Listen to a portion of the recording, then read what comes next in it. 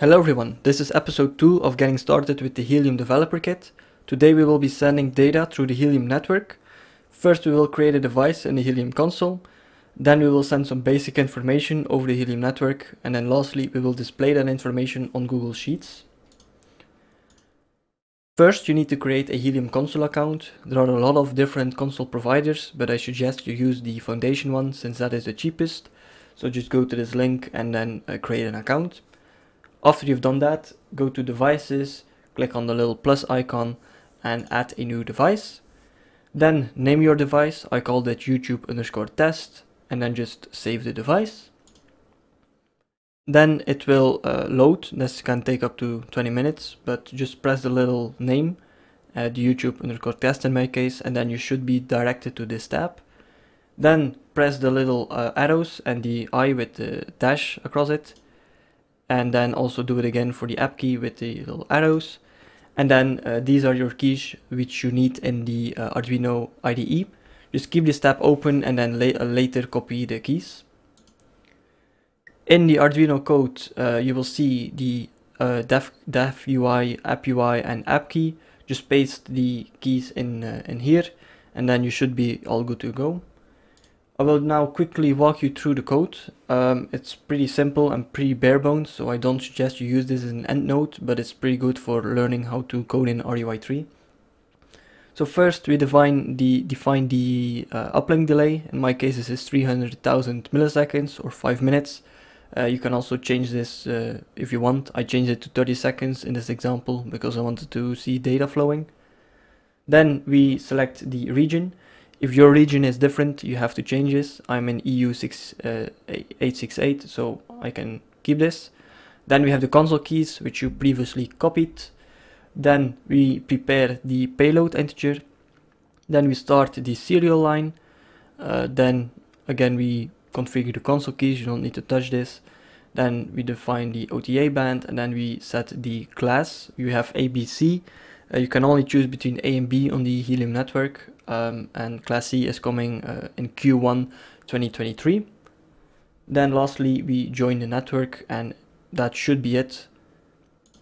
Then if we want to send data, we use this function, the uplink routine. Uh, we prepare first an integer, which keeps track of the length of the payload. Uh, in this case, the length will be 1.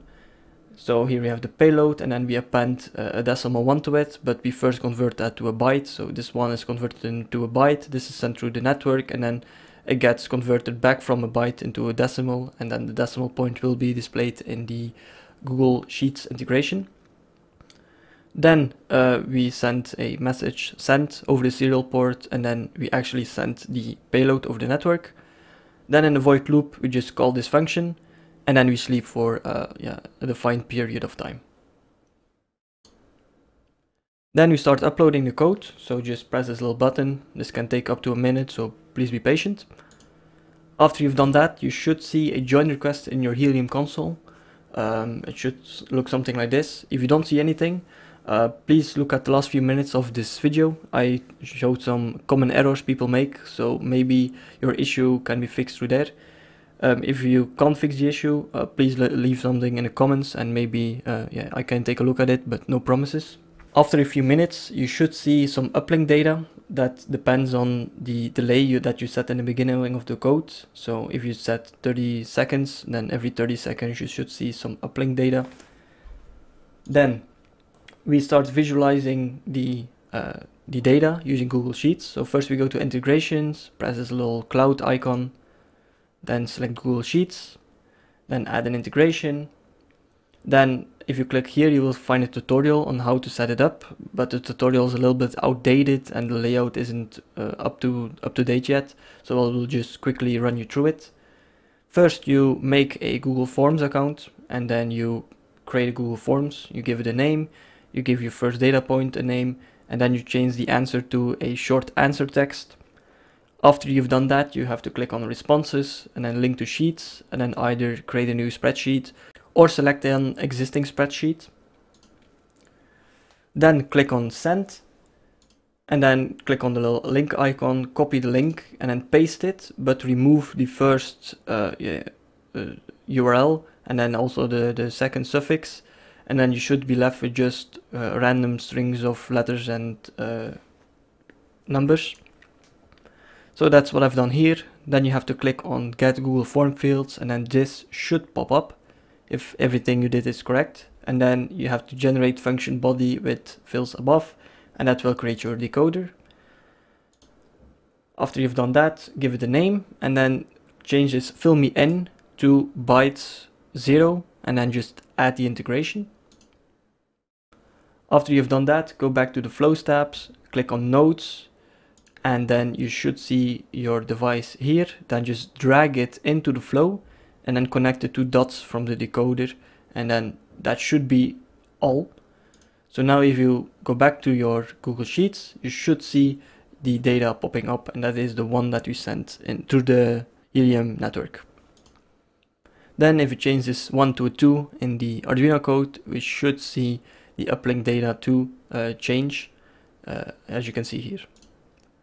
Then some common errors. Yeah, the first one is wrong frequency slash region. In the last episode, we discussed how you can find out about the right frequency and region. So please just use the official Helium website and not another website because they might report different frequencies. Second is wrong console keys. Uh, sometimes people swap app key and uh, or whatever.